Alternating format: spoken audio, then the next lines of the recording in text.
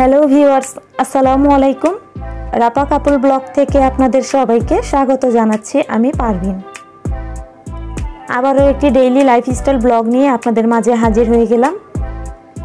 আর শুরুতেই বলে নিচ্ছি, আমার ব্লগটি যদি আপনাদের ভালো লেগে থাকে, তাহলে প্লিজ একটি লাইক দিয়ে ভিডিওটি কন্টিনিউ করবেন। আপনার একটি লাইকের কারণে কিন্তু আরও অসংখ্য মানুষের কাছে আমার এই ব্লগ ভিডিও চলে যাবে। তাই প্লিজ একটি লাইক দিয়ে দিবেন। আপনারা ভিডিও অনেকেই দেখেন, কিন্তু লাইক দিতে ভুলে যান। এর জন্য প্রথমেই কিন্তু আপনাদেরকে মনে করিয়ে দিলাম একটি লাইক দেওয়ার জন্য। তো সকালে ঘুম থেকে উঠেই আমি প্রথমে মাছগুলোকে খাবার দিয়ে দিলাম। এরপরেই তো ওয়াশিং মেশিনটা একটু চালু দিয়ে দিচ্ছি, কারণ বেশ কিছু পরিমাণ কাপড় নোংরা হয়ে গিয়েছে। তাই ভাবলাম আজকে সকালবেলায় আমি কাপড়টা ওয়াশিং মেশিনে দিয়ে দিই। তো ওয়াশিং মেশিনটা চালু করে দিয়েছি, আর ডিটারজেন্ট পাউডারটা আজকে আমি হচ্ছে একটু পানির সাথে মিশিয়ে এইভাবে গুলিয়ে দিয়ে দিলাম। তো যাই হোক, কাপড়গুলো দিয়ে আমি হচ্ছে প্রতিদিন সকালবেলা যে কাজটা করি মানে এক গ্লাস পানির মধ্যে হচ্ছে ইসবগুলোর ভুসি গুলিয়ে তারপর খেয়ে নিই। তো এখন আমি হচ্ছে কাপড়টা পরিষ্কার করতে দিয়ে হাত মুখ ধুয়ে নিব। এরপরেই তো হাত মুখ ধুয়ার পর আমি চলে আসলাম এক গ্লাস পানি নিয়ে। তো এক গ্লাস পানির মধ্যে এখন দুই স্পুন আমি ইসবগুলোর ভুসি দিয়ে দিলাম। এরপর পানির সাথে খুব ভালো করে মিশিয়ে নিলাম। আর এখন আমি হচ্ছে এই ইসবগুলোর ভুসিটা খেয়ে নিব খালি পেটে। আর আমরাও অনেকেই জানি এই ইসবগুলের ভুসিটা খালি পেটে সকালে উঠে যদি আমরা খাই, এতে করে স্বাস্থ্যের জন্য কিন্তু খুবই ভালো। বিশেষ করে যাদের কোষ্ঠকাঠিন্য আছে, তাদের জন্য খুব বেশি ভালো। তো যাই হোক, খাওয়ার পর আমি কিছুক্ষণ ট্রেডমিলে দশ মিনিটের মতো হেঁটেছিলাম। এরপর কিছুক্ষণ রেস্ট নেওয়ার পর আমি এই তো নাস্তা তৈরি করার জন্য চলে আসলাম। তো অলরেডি রুটিগুলো বানিয়ে নিলাম আর এই তো রুটি ভেজেও নিয়েছি, সাথে ডিম পোস্ট করে নিয়েছি। আর এই তো গত পরশু দিন হচ্ছে আমি ফিরনি রান্না করেছিলাম, তো ফিরনিটাও বের করে নিয়েছি। তো এখন আমরা দুজনে সকালে নাস্তাটা করে নিব। আর সকালে নাস্তা করার পর সাথে সাথে আমি হচ্ছে যে প্লেট বাটিগুলো জমে সেই প্লেট বাটিগুলো পরিষ্কার করে নিই প্রথমে। তো এই তো এখন প্লেট বাটিগুলো প্রথমে মেজে নিলাম, এরপর এই তো প্লেটগুলো খুব ভালো করে পরিষ্কার করে ধুয়ে কিচেনটাও আবার পরিষ্কার করে নিলাম। আর নাস্তা তৈরি করার আগে কিন্তু কিচেনটা একবার পরিষ্কার করে নিয়েছি, তো এখন প্লেট বাটি ধোয়ার পর আবারও পরিষ্কার করে নিলাম। আর আজকে ঘুম থেকে উঠতে আমার একটু বেশি লেট হয়ে গিয়েছে, প্রায় সাড়ে বারোটার মতো বেজে গিয়েছে। তো এর জন্যই আমি প্রথমে নাস্তাটা করে নিলাম, আর বিছানাটা কিন্তু গুছানো হয়নি। তো নাস্তা করে এখন আমি বিছানাটা গুছানোর জন্য চলে আসলাম। তো এখন হচ্ছে এই তো ফার্নিচারগুলো আমি খুব ভালো করে ধুলাবালিগুলো একটু পরিষ্কার করে নিচ্ছি। তো এভাবে করে এখন বেডরুমের সবগুলো ফার্নিচারই আমি একেবারে মুছে পরিষ্কার করে নিব। তো প্রথমে এই তো খাটটা আমি পরিষ্কার করে নিলাম, আর অফ ক্যামেরায় সবগুলোই কিন্তু আমি ফার্নিচার পরিষ্কার করে নিয়েছি। তো বেডরুমটা গুছানো হয়ে গিয়েছে। এখন আমি এই তো ডাইনিং টেবিলটা একটু মুছে নিচ্ছি। সকালে নাস্তা করার পর কিন্তু এখন পর্যন্ত ডাইনিং টেবিলটা আমি ক্লিন করিনি। তো প্রথমে বেডরুমটা গুছিয়ে আমি ডাইনিং টেবিলটাও মুছে নিচ্ছি এখন। তো ডাইনিং টেবিলটা কিন্তু আমার একেবারে ক্লিন করা হয়ে গিয়েছে। এরপর আমি চলে যাব হচ্ছে গেস্ট রুমে। তো গেস্ট রুমের এই তো খাটের বিছানাটা আমি একটু ঝেড়ে নিচ্ছি প্রথমে। আর এখন জানালাটা খুলে দিলাম। এই রুমের জানালাটা কিন্তু প্রায় সময় খোলা হয় না। তো আজকে ভাবলাম যে একটু জানালাটা খুলে দেই। আর এই তো জানালাটা খুলেই হচ্ছে, বিছানাটা খুব ভালো করে ঝেড়ে নিলাম। আর খাটটাও হচ্ছে একটু মুছে নিলাম ধুলাবালি। আর এই তো সবগুলো রুম গুছানোর পর আপনাদের মাঝে একটু শেয়ার করছি যে গুছানোর পর কেমন লাগছে আমার বাসাটা। আর আজকে সকাল থেকে সারা দিনের কাজকর্ম শেষ করে রাতে হচ্ছে একটু বাজারে যাব, কারণ কিছু টুকিটাকি বাজার করতে হবে। তো টাইটেল দেখেই আপনারা বুঝে গিয়েছেন সারা দিনের কাজকর্ম শেষ করে রাতে বাজার করতে গেলাম। তো বাজার থেকে কি কি কিনে নিয়ে আসলাম, সেটা দেখতে হলে অবশ্যই পুরো ভিডিওটি আপনাদের দেখতে হবে। তো ভিডিওটি না টেনে দেখতে থাকুন। আর এই তো আমার বাসাটা কিন্তু অলরেডি আপনাদেরকে দেখিয়ে দিলাম ঘুরিয়ে ঘুরিয়ে। তো এই তো গেস্ট রুমটাও এখন দেখিয়ে দিলাম। তো পুরাটা বাসাই এখন একেবারে ক্লিন হয়ে গিয়েছে। তো এখন আমি এই তো কিচেনে চলে আসলাম। প্রথমে একটা আলু নিয়ে নিলাম, বড় সাইজের।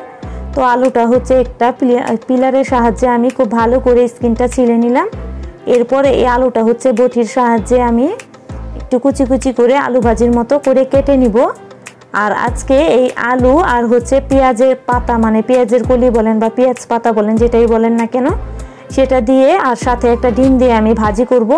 আর পেঁয়াজের কলি হচ্ছে আমি ফ্রিজে ফ্রোজেন করে রেখে দিয়েছি। তো ফ্রোজেন করা পেঁয়াজের কলি দিয়েই হচ্ছে আজকে আমি এই ভাজিটা করব। তো এই ভাজিটা করার জন্য এইরকম করে একেবারে মিহি করে একটা আলু ভাজির মতো করে কেটে নিতে হবে। তো দেখতেই পাচ্ছেন আমি কতটা মিহি করে কেটে নিয়েছি। তো আলুটা কিন্তু আমার কাটা হয়ে গিয়েছে। এখন আলু হচ্ছে, আলুটা হচ্ছে আমি খুব ভালো করে ধুয়ে পরিষ্কার করে নিয়েছি। তো তো আলু ভাজিটা আমার খুব ভালো করে ধোয়া হয়ে গেল। আর এই তো ফ্রিজ থেকে এখানে আমি পেঁয়াজ, কাঁচামরিচ বের করে নিলাম। আর এই তো ফ্রোজেন করা পেঁয়াজের কলিটা হচ্ছে, এই জিপলক ব্যাগে আমি ভরে রেখে দিয়েছিলাম। তো এখন এই তো ফ্রিজ থেকে বের করে নিলাম আর একটা ডিম বের করে নিয়েছি। তো চলুন, ভাজিটা করার জন্য চলে যাই। তো প্রথমেই চুলায় একটা প্যান বসিয়ে দিয়েছি। তো এর মধ্যে অল্প একটু তেল দিয়ে দিলাম, কারণ প্রথমে আমি হচ্ছে যে একটা ডিম নিয়েছি, ডিমটা একটু ঝুরঝুরা করে ভেজে একটা পাটিতে তুলে রাখব। তো ডিমটা ভেজে নিচ্ছি, দেখতে পাচ্ছেন? ডিমটা অলরেডি ভাজা হয়ে গিয়েছে। এখন একটা বাটিতে উঠিয়ে রাখব। এরপর আমি ভাজিটা করে নিব। তো এই তো প্যানটা বসিয়ে দিলাম, ডিমটা নামিয়ে এখন পরিমাণ মতো আমি তেল দিয়ে দিলাম। আর এই তো ডিমটা নামানোর পর আপনাদেরকে দেখিয়ে দিলাম। তো তেলের মধ্যে এখন যে আলু কেটে রেখেছিলাম, সেই আলু, পেঁয়াজ, কাঁচামরিচ আর পরিমাণ মতো লবণ দিয়ে একটু নাড়াচাড়া করে কিছুক্ষণ আমি রান্না করে নিব। এরপর আমি এর মধ্যে দিয়ে দিব হচ্ছে অল্প একটু হলুদ মরিচের গুঁড়া, ধনিয়া গুঁড়া, জিরা গুঁড়া আর একটু আদা রসুনের পেস্ট। তো সব মশলা দিয়ে আমি অল্প একটু পানি দিয়ে খুব ভালো করে কষিয়ে নিয়েছি।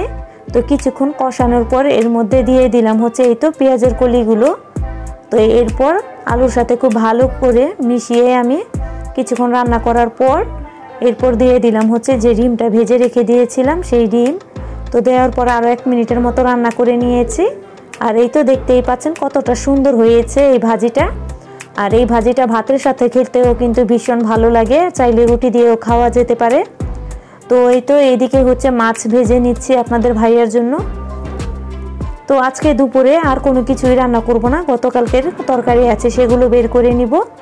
আর কিছু প্লেট বাটি ছিল সেগুলো আমি ধুয়ে নিলাম। আর এই তো মাছটা কিন্তু ভেজে নিচ্ছে আমি, এখন একটু উল্টে দিলাম আর চুলার জালটা এখন একেবারে কমিয়ে দিব।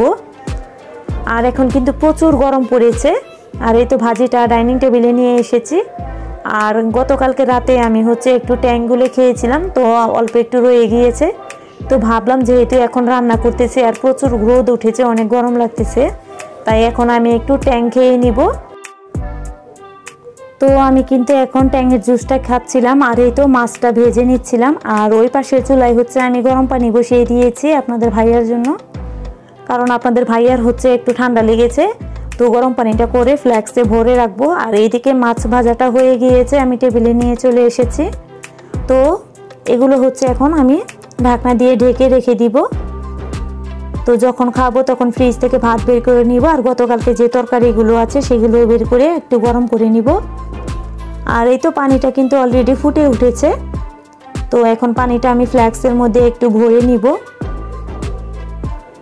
আর এই গরমের মধ্যে আপনাদের ভাইয়া কীভাবে যে এই গরম পানিগুলো খায় বুঝতে পারি না।